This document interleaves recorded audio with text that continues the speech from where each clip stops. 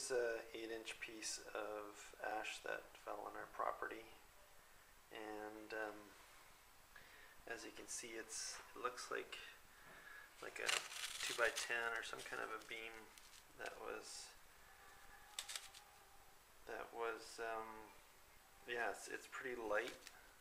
And, and these things were, were glowing as they fell on our property. It's very porous.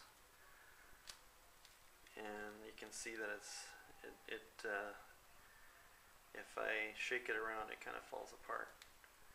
Um, nonetheless, it's amazing that this thing was flying through the air probably, I would say, about 500 meters or so to come and land on our property from where the fire actually was. So um, yeah, we had a bunch of debris. This is one of the bigger pieces. And we've got some smaller ones over here on this side. They're all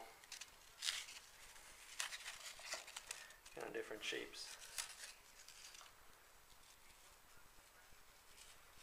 And, and uh, if you just sort of scrunch them, they, they fall apart.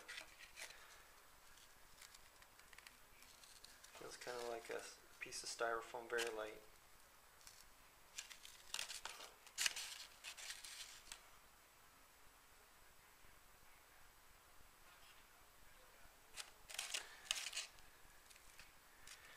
Still amazed that these things actually can, were in the air, like probably, I don't know, 300, 400 feet in the air.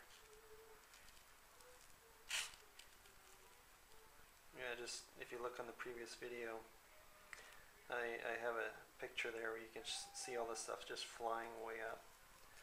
Huge force coming out of the fire. Okay, bye.